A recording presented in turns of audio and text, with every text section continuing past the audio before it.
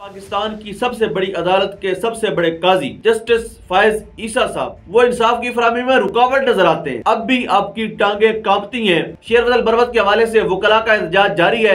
आई जी पंजाब हो या लाहौर की इंतजामिया हो, उन्होंने लाहौर हाई कोर्ट के अहकाम को जूते की नोक पर रखा हुआ है। बिस्मिल्लाहिर्रहमानिर्रहीम अस्सलाम वालेकुम मैं गुलफाम चौधरी, आप देख रहे हैं I R K news.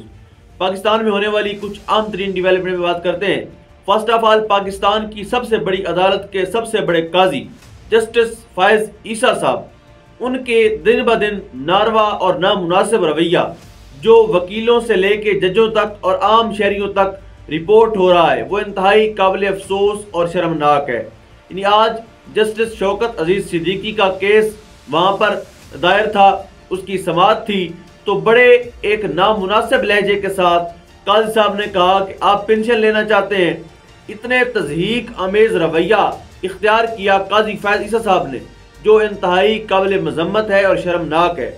यानी अगर हम ओवरऑल देखें इस वक्त कि पाकिस्तान की कुछ आम तरीन जिम्मेदारियाँ जो हैं, कुछ आम तरीन कुर्सियाँ जो हैं, उनके ऊपर हमने छोटे कद के, छोटे दिमाग के बोने लोग बिठा दिए जो ना तो इंसाफ फराम कर सकते हैं और ना ही लोगों के दुखों का मदावा कर सकते हैं।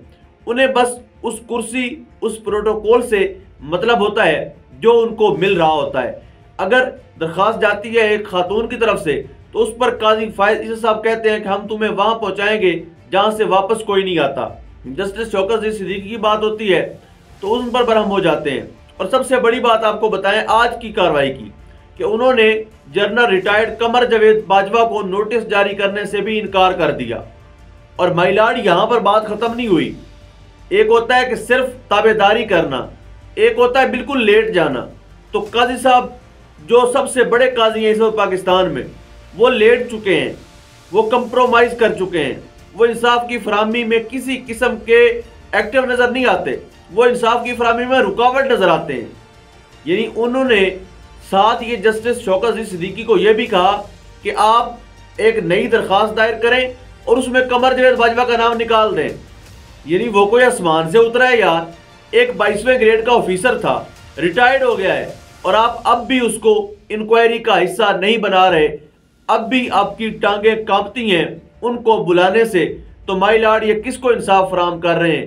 तो माई लाड आप किस, इस मनसब पर बैठकर किसकी सहूलतकारी कर रहे हैं? ज़रा खुलकर कौम को बताइए, ज़रा खुलकर एक्सपोज होइए, ज़रा खुलकर बताएँ, पिछले दिनों आपने कुछ दिन पहले फौजी अदालतों में सिविलियन के ट्रायल को हुक्मनामा था पहले का। उसको कदम करार दिलवा कर दोबारा से आपने जारी करवाया। और अब जो है आप इस तरह से एक जनरल रिटायर्ड के नाम पे नोटिस जारी करने से भी डर रहे हैं। तो माइलाड बता दीजिए आप किसके वफादार हैं? किसके सहूलतकार हैं? किसके लिए काम कर रहे हैं? ये चंद एक सवाल है जो मैं नहीं कर रहा, पूरी कौम आपसे कर रही है। पूरी कौम अगर इस वाकई पाकिस्तानियों को आप इंसान समझते हैं, कीड़े मकोड़े नहीं समझते तो इनको जवाब दीजिए। लोग आपके जवाब के मुतलाशी हैं। उसके बाद पाकिस्तान की निगरान हुकूमत जब से आई है, सारे के सारे जॉकर्स इकट्ठे करके और फारक किस्म के, फजूल किस्म के लोग कोई निगरान वज़ीर अला बना दिया गया, कोई निगरान वज़ीर अजम बना दिया गया, कोई वज़ीर इतलात बना दिया गया। और पाकिस्तान की बदकिस्मती यह है कि पाकिस्तान में वज़ीर इतलात भी उसको बनाया जाता है, जिसने आधे पाकिस्तान को ट्विटर पर ब्लॉक कर रखा है, जिसके अंदर सुनने की इतनी सी कैपेसिटी है कि उससे कोई अख्तिलाफ राय करता है तो उसको फ़ौरन से ब्लॉक कर दिया जाता है। ऐसे बंदे को वज़ीर इतलात बनाया जाता है। अनवर काकड़, जो मुख्तलिफ़ यूनिवर्सिटियों में भी गए, उन्हें सबकी का सामना हुआ और उन्हें हीरो बनने का बहुत शौक है। उन्हें हमेशा से इंग्लिश झाड़ने का शौक रहता है, कोई ऐसी बात करने का शौक रहता है जिससे लोग उनको मुनफरद जाने। अब उनसे जब वसीम बादामी ने अपने प्रोग्राम में सवाल किया, मोहम्मद अली जिना रहमत का यह नज़रिया है कि इसराइल अमेरिका का नाजायज बच्चा है, हम उसको कबूल नहीं करेंगे। तो आप, आपने किस तरह से ट्विटर अकाउंट पर एक ट्वीट करते हुए कहा कि हम दो रियासती दस्तूर के हवाले से हमने बात की। इट्स बीन दैट कि आप इसराइल को रियासत मान रहे हैं। उस पर उन्होंने कहा, देखें, मोहम्मद अली जिना के कौल का इनकार करना कुफर नहीं है। बिल्कुल दुरुस्त कहा आपने, कुफर नहीं है। लेकिन कौमें जो होती हैं, वो नज़रियात पर चलती हैं। कौमें आइडियालॉजी को फॉलो करती हैं तो चलती हैं। जिन कौमों के पास आइडियालॉजी नहीं होती, वो कौमें एक हजूम बन जाती हैं, भीड़ बन जाती हैं। वो फिर कौम नहीं रहती। लेकिन आप चूँकि एक जॉकर टाइप बंदे हैं, आपका वराइटीज से, आपका मुल्क की जो पॉलिसीज़ हैं, उनसे, या जो हमारे ओवरऑल थिंकिंग है, उससे कुछ कोई तल्लक नहीं है। आपको चंद दिन के लिए किराए पर लाकर बिठाया गया है तो आप ऐसे यकीन बयान देंगे। यानी अगर जना हाउस पर हमला करना, वो अगर काबिल जुर्म है तो बताइए कि मोहम्मद अली जिना के नजरियात पर हमला करना, क्या इस पर नवार काकड़ साहब को जवाब नहीं देना चाहिए? क्या इस पर कौम को उनसे जवाब नहीं मांगना चाहिए? तो ये है हमारे निगरान वज़ीर अजम जो इंतहाई बेशर्मी और डिठाई के साथ इस तरह की फजूल चीज़ें बोलते रहते हैं। उसके बाद हम बात करेंगे, लाहौर हाई कोर्ट ने शेर अफजल मरवत केस में सोमवार को जवाब तलब कर लिया है। यानी आप देखें कि हमारी अदालतें कितनी फास्ट हैं, कितना फौरी और सस्ता इंसाफ मुहैया करते हैं। लेकिन मैं पहले भी अर्ज़ करता रहता हूँ कि सस्ता और फौरी इंसाफ आपको तब मिलेगा अगर आपका तल्लक नून लीग से है, अगर आपका तल्लक नवाज़ शरीफ से है। अगर तो आप इस मुल्क के मफरूर इश्तारी भगोड़े हैं, आप चार साल यहाँ से मफरूर रहे तो जब आप वापस आएँगे, आपका केस पंद्रह मिनट के अंदर अंदर उसकी समात भी मुकम्मल हो जाएगी। फैसला महफूज भी हो जाएगा और फैसला सुना भी दिया जाएगा, आपको बरी भी कर दिया जाएगा। लेकिन अगर आप एक आम पाकिस्तानी हैं तो भूल जाएँ, ये अदालतें आपको इंसाफ देंगी। अगर केस होगा इमरान रियाज खान का तो लाहौर हाई कोर्ट के चीफ जस्टिस 140 दिन तक उस केस को चलाएँगे। उस केस को इल्तवा का शिकार रखेंगे। लेकिन अगर बात आएगी नवाज़ शरीफ साहब की तो यहाँ पर उनको सस्ता और फौरी इंसाफ मिल जाएगा। ये सारे के सारे रिलीफ उसी प्रो मैक्स लाडले के लिए है, जो डील करके वापस आया है। शेर बदल बरवत के हवाले से वकला का एहतजाज जारी है।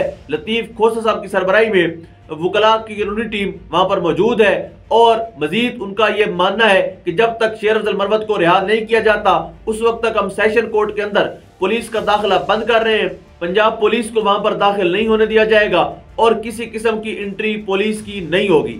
अब देखते हैं कि वकला का ये एहतजाज कब रंग लाता है, कब लाहौर हाईकोर्ट के पास आए हुए मेहमान शेर अफजल मरवत को रिहा किया जाता है और कब लाहौर हाई कोर्ट के अहकाम को माना जाता है। वैसे भी आईजी पंजाब हो या लाहौर की इंतजामिया हो, उन्होंने लाहौर हाई कोर्ट के अहकाम को जूते की नोक पर रखा हुआ है। वो बिल्कुल भी उनकी बात नहीं मानते और कभी भी उनकी बात को फॉलो नहीं करते। अब देखते हैं कि ये क्या रुख इख्तियार करता है केस। उसके बाद बैरिस्टर शुएब शाहीन, जो फोकल पर्सन है इमरान खान साहब के, पीटीआई के रहनमा है, उन्होंने आज कोयटा जाना था क्योंकि शेर फजल मरवत को गिरफ़्तार कर लिया गया था। उन्होंने जाना था कोयटा वर्कर कन्वेंशन से खिताब करने।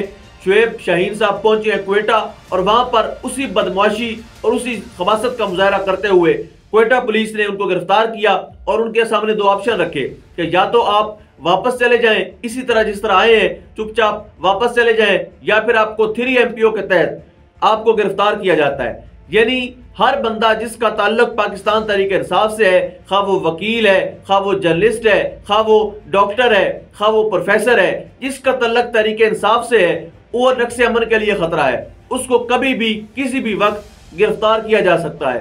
तो वहाँ पर लोगों की बड़ी तादाद मौजूद है।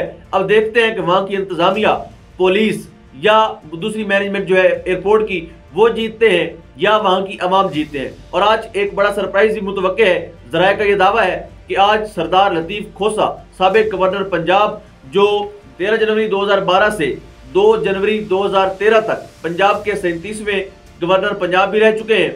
आज इम्कान है कि वो पाकिस्तान तरीके इंसाफ में शमूलियत का ऐलान करेंगे। ये एक बड़ी शमूलियत होगी और तरीके इंसाफ के लिए एक ताज़ा हवा का झोंका होगा। अब देखते हैं किस हद तक ये उनके लिए करामत साबित होती है और कब शेर अफजल बरवत के हवाले से लाहौर हाई कोर्ट इंसाफ फराम करता है। अब तक के लिए इतना ही। अपने मेज़बान को इजाज़त दीजिए। अल्लाह के बाद